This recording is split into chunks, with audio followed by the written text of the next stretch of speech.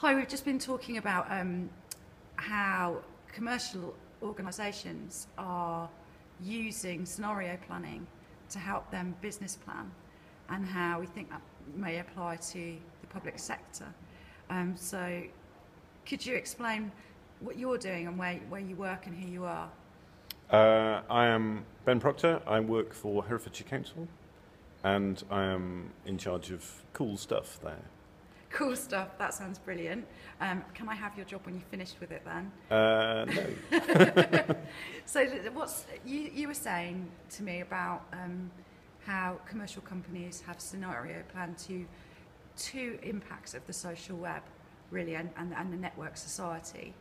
Uh, yeah, so we were we were talking about um, uh, sort of medium-term economic planning and uh, in for my county, and um, and as a result of that, I was going off and looking at existing scenario planning that other people had done. Um, and one of the ones that I went to is Shell, because Shell have been doing a lot of scenario planning ever since the 70s, and it's very accessible, very and really interesting stuff. And their current um, uh, sort of um, plan is that they see there, the world could go in two ways, and they're calling it mountains and oceans. Mountains is um, essentially an increasingly um, transactional relationship between citizens and the state.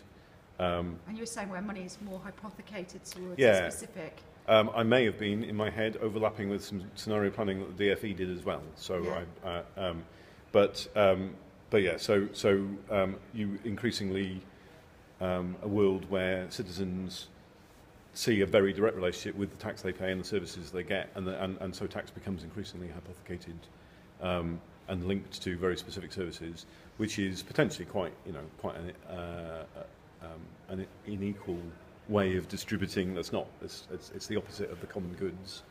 Um, and they would say, in that sense, if, if that's the way the world goes, she was saying, interestingly, they were saying invest in gas. Yeah, so that's the, ultimately that's what Shell are interested in. So uh, in this, um, uh, it, it leads to increasing sort of not exactly authoritarian, but very authority. The state protects you and and and, mod- and mediates society, but doesn't do much else. In that world, gas is where you want to put your money.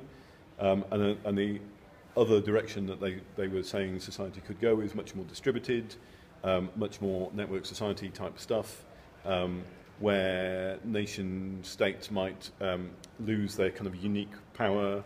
Um, they, this um, uh, and, and power becomes much more distributed amongst uh, elites and technocrats and, and the citizenry as a whole. And in that world, they were saying you probably want to invest in solar. So um, so it could. So we're at a kind of pivotal place, really, where we, it, where really they're thinking it could, it could, we could, as as as a civilization, go down one route or another. At this point, we're at a bit of a junction.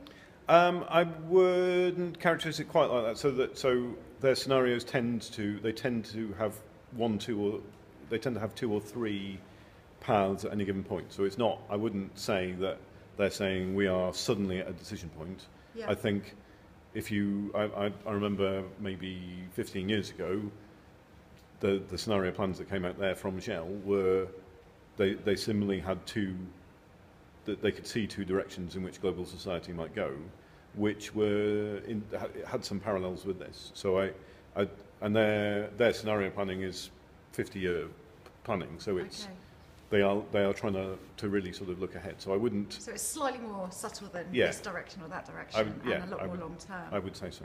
Thank you.